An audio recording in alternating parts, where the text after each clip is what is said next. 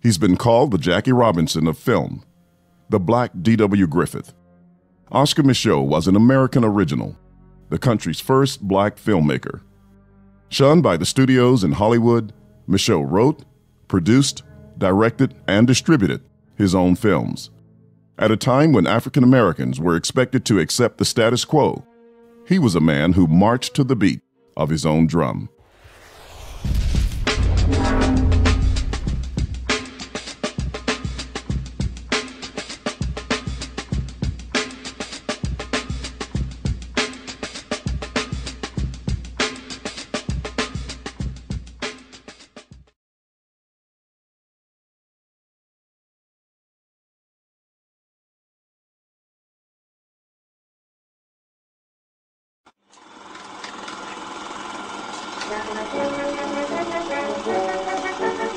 Oscar Micheaux was a towering figure even by today's standards.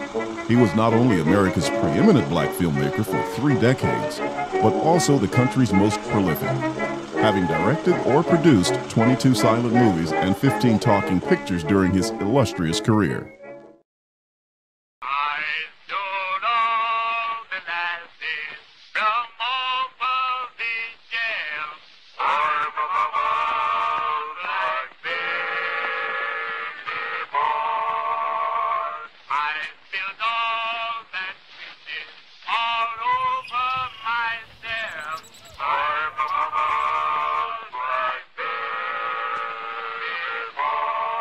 Micheaux was born on January 2, 1884, in Metropolis, Illinois, a town that is today known for another man of steel.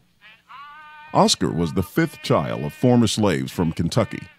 His father, Calvin Swan Micheaux, was illiterate but extremely ambitious and hardworking.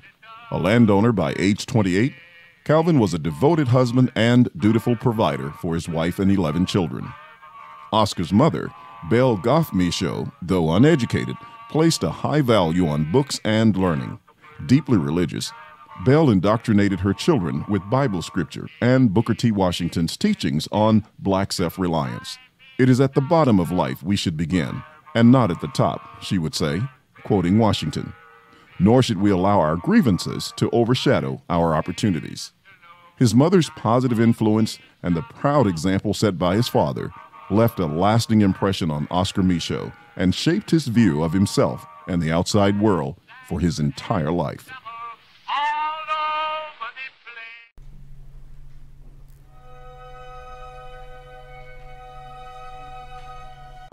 Life in Metropolis at the close of the 19th century was dull for an adventurous soul like young Oscar.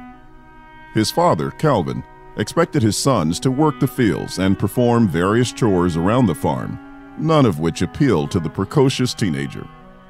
Micheaux received good grades in school, but felt unappreciated by his teachers.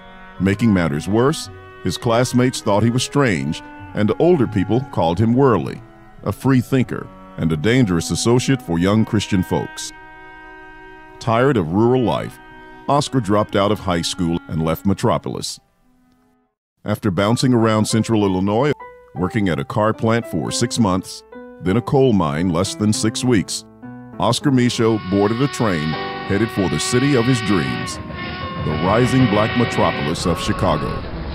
In the early part of the 20th century, Chicago was a city on the move, and African Americans were moving with it.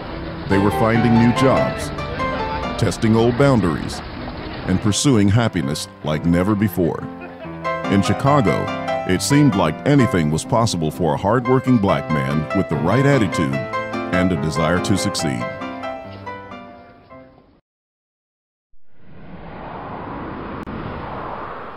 When Oscar Micheaux arrived in Chicago in 1902, it was the dead of winter. His oldest brother, William, lived in a rooming house on the city's predominantly black South Side. William, who lived rent free, allowed Oscar to stay with him for $6 a month. Suddenly desperate for work, Oscar went out in search of employment. While finding a job in Chicago was easy, finding a dependable one was a different story. For a short time, Micheaux worked at the infamous Union Stockyards, which he described as a mecca for the down and out. then briefly at a steel mill in nearby Joliet. Once back in Chicago, he registered with employment agencies and responded to help wanted ads without much luck. Eventually, he took a job shining shoes at a barbershop in Wheaton, Illinois. It was by no means the glamorous life he envisioned, but with tips and the extra money he earned pitching hay in the morning, Micheaux was able to save enough to open his first bank account. Oscar liked having his own money and the freedom it offered. Now he desired a career that would give him more of both.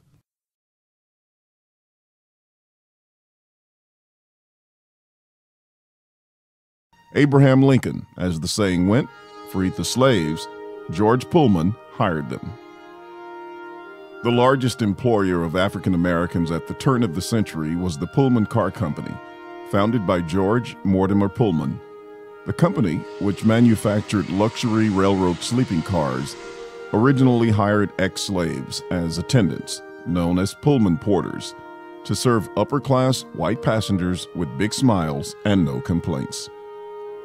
Although they worked long hours on their feet without much sleep and earned barely enough to survive, a Pullman porter was one of the best jobs in the black community because it provided a steady paycheck and an opportunity to travel.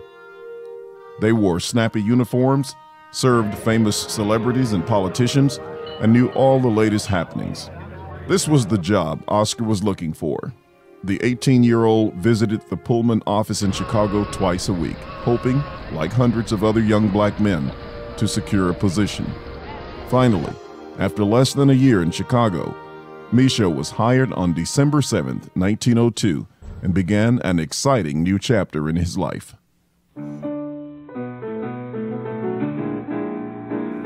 Oscar's first months as a Pullman porter took him to all the major cities, but it was the open frontier that fired his imagination, and he was eventually assigned to a route that traveled through Colorado, Wyoming, and Idaho before finally reaching Portland, Oregon. Micheaux got along with the affluent white passengers who liked talking about themselves as much as he liked listening, but soon realized his $25 a month salary would never be enough to provide the financial independence he sought even with the tips he was making. Oscar supplemented his income with a widespread illegal practice called knocking down, which involved Pullman conductors charging passengers for services that weren't reported to the company. Porters were given half the money, a knockdown for looking the other way. The hustle was lucrative, but nerve wracking for Micheaux, who had to elude company detectives known as spotters hired to spy on Pullman employees. Although he hated the guilt and paranoia that came with stealing, Oscar was able to stash away more than $2,300, nearly $80,000 in today's money, in just 18 months. Micheaux had real money to work with. All he needed now was something to invest in.